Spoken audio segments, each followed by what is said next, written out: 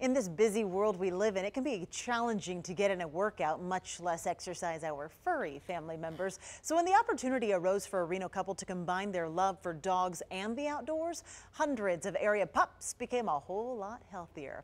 What Adventure Pet is all about in tonight's Health Watch. Are you guys ready? Ready? Come on. It's a highlight of their week. Fonzie, come on. Come on, Zeph. Every week when these pups go on an outing, well, scratch that, an adventure with Adventure Pet, an area business that picks up your dog.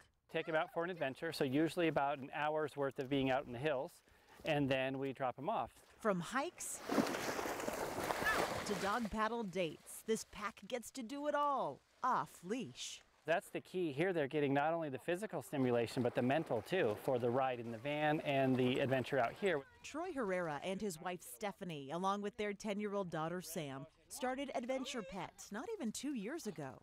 This was supposed to be a little part time gig for me, and it just exploded. They started with a dozen dogs, and now with the team of trainers, they run about 200. With access to three large private properties in the area, these pups get to explore. But you'll notice they're uh, always within close range. 11, 12, 13, good. While the pooch playdates are fun for the dogs and trainers alike, sometimes I throw the ball for the dogs. Sometimes I rub their bellies for them. It's also exercise while their owners may be at work. And in some cases, it helps rehabilitate the dogs too, like Zephyr. This program helped the long coated German Shepherd recover after ACL surgery. Plus, her mom, Valerie, says it's done wonders for her spirit. She's a wonderful dog, but she needs a lot of action and movement and attention. And, and although I could walk her on a leash, you know, maybe up to five days a week, she needed to really get out and run. Veterinary surgeon Krista Chaffee echoes the health benefits, not just post surgery, but also for socialization from puppies to seniors. A Middle aged dogs, same thing. They want to have some excitement. They don't want to be left at home all day while you're working.